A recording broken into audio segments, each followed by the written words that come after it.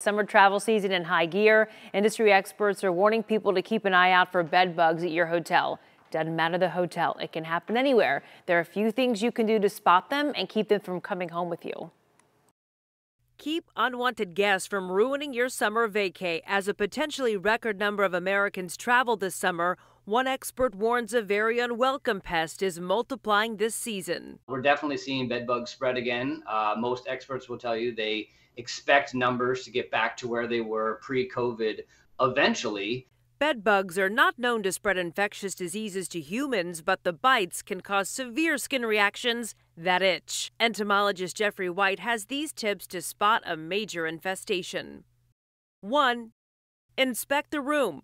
Check mattress seams, the headboard, and the box spring for tiny brownish red stains or live bugs. No matter how, you know, expensive a hotel may be, you can potentially encounter bed bugs. We've seen bed bugs in five-star hotels that can cost more than $1,000 a night type stuff. 2. Keep your luggage elevated. Put it on a desk or bathroom counter to minimize the chances of bugs crawling into your belongings.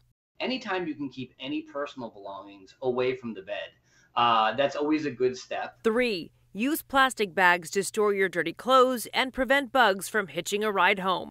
4. Once you get home, isolate your luggage and inspect it. And 5. Wash clothes in hot water and dry them on high heat. It's all about what you do when you return home.